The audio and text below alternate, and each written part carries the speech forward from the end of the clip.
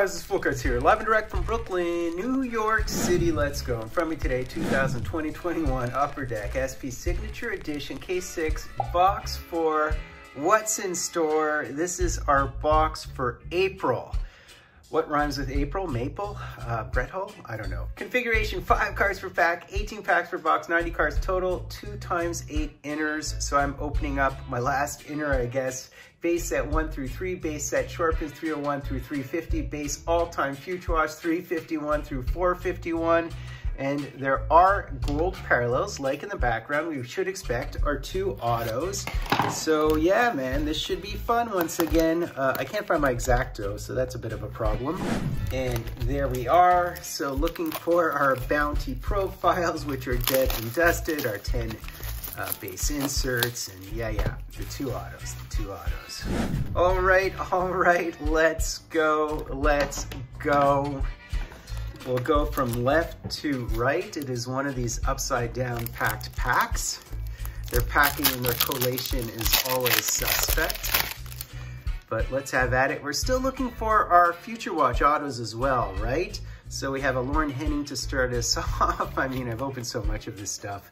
We do have a dominant digits of Rod Langway, one time have, Carbonneau and Garpenlov. Pack two, I love how easily these open, I have to say. So we do have uh, something here. I think it's a base, uh, beautiful looking base upper deck canvas. And it is indeed the Ken Daneyko, uh, who I believe is on MSG, unless I'm mistaken. Terry O'Reilly. So what types of signatures can we hit? I mean, we've done this so many times. There are the 97 SIGs, the Century Legend SIGs, the Upper Canvas autos, the Dominant Digit autos. I mean, all kinds of stuff behind the board autos, what am I missing? Life After Hockey, etc., etc. The Maple Leaf updates, Centennial updates, Raycroft, speaking of which, Lindros, and there is a beauty of profiles of Mario the Magnifique and Lanny. At the time of recording this, I know that Lanny had had a cardiac event of some sort. You guys tell me. Continuing on, we do have a Pedersen and we have a Life After Hockey here and it would be a beauty Ryan Whitney, as well as McClellan, Ashton, and Jackman.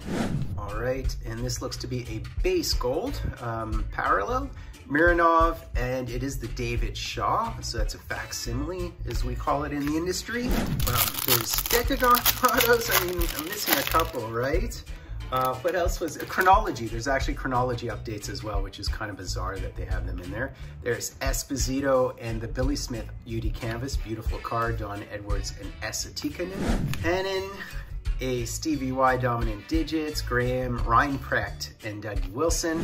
Uh, this, I'm not sure if this is if only that were autoed. I love this one. It is totally one of the most beautiful cards in the hobby, the auto version of it but that is hot. That is hot.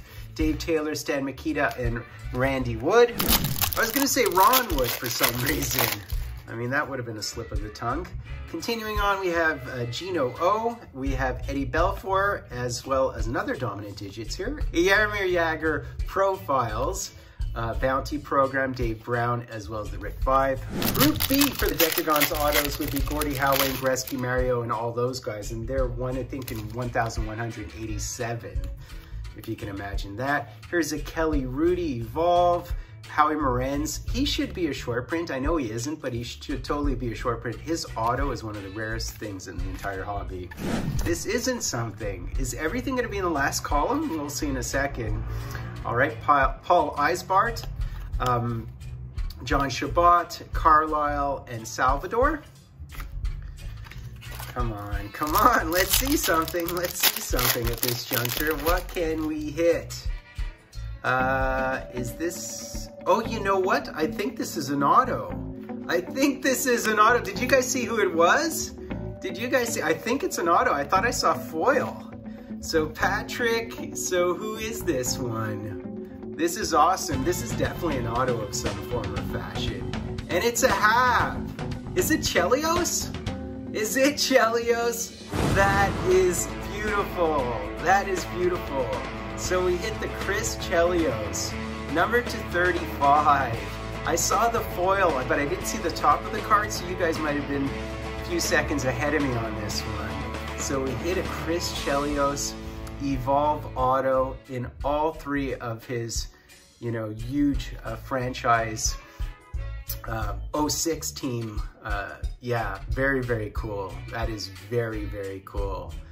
Um, we traded him for Denis Savard. I mean, we won a cup with Denis Savard, but who was injured at the time when we hoisted it. But yeah, uh, he, we didn't know he'd go on to play for another 4,000 years. Uh, there's Dave Taylor is all over this year's products, and there's the Denis Savard. So there you see, we traded him for that guy. Um, we should have drafted Denis Savard, I think, in 1980, and instead we picked Wickenheiser, right? So I think it was in 1980. So yeah, that was an oversight. Yeah, because 1980, 1980, that draft when Doug Wickenheiser, when Babych, Savard, Murphy, uh, and I think Coffey went sixth in that draft. So we picked Wickenheiser, who's passed, sadly. Of course, his uh, cousin. Is it his cousin? Yeah, I think it's his cousin who's the hockey player. And here we have the flower. And here we have the flower. If only autos existed. In fact, I saw a hard signed auto of this online, which must have been a forgery because at that point he had passed before the product came out. So if you see hard signed uh, flower autos from this product in this year, I can tell you for a fact uh, it's not right. Is this an auto? I don't think so because it's not gold, right? We were talking about the Decagons a second ago, right? So this would happen to be Henrik Sedin. I think I do have the auto version of this actually already, as you guys can imagine. Flossing a couple of my bad boys in the background as well, including the Patrick, which might be a case hit, I don't know, and the Ronnie Hextall. So there's Keith Tkachuk, Father Tkachuk. Very cool, and I shouldn't just gloss over Wayne, should I? So we're owed, we're another auto. Hopefully it isn't a base auto. I almost feel like it shouldn't be a base auto at this point. I think it might be some other insert auto, but we'll see in a second. Although we're still waiting for a future watch as well. And there's the Gilles Meloche, uh, who has some pretty cool helmets. So this is the last pack, guys. So what do we have? Oh man, we have just a base auto again, which is a little bit disappointing. Hopefully this case will deliver later on. We're only halfway through the case, so, or the inner, if you will. So there's Jocelyn Lemieux. There is Paul Coffey. And let's see if we get anyone uh, decent in here. Decent would be good. It just seems to be a base foil, right? And we do have an Alex Tanguay.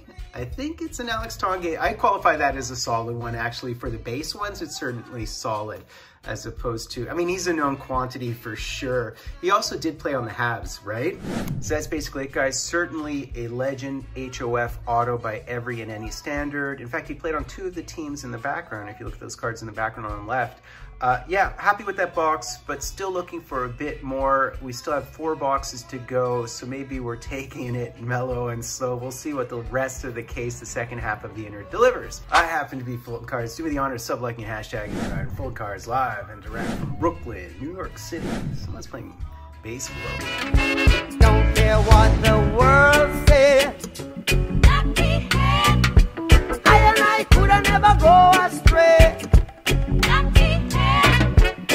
like a bright and sunny day.